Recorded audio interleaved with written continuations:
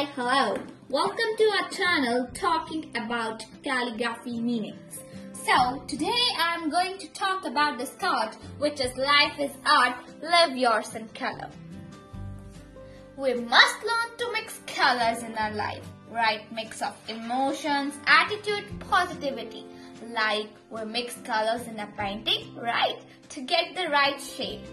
Imagine if this color adds so much life and energy to a canvas. How much can they make our life better? So why live a boring dull life when you can splash your life with all the colors and make it fun, vibrant and attractive? So let's make our canvas more attractive and from fun from now.